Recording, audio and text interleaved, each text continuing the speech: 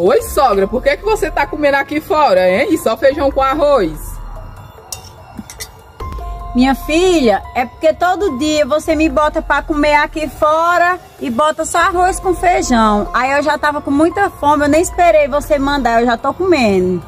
De jeito nenhum, sogra. Venha comigo, você vai comer lá dentro, viu? Eu já vou jantar com meu marido e eu quero você comendo lá conosco, viu?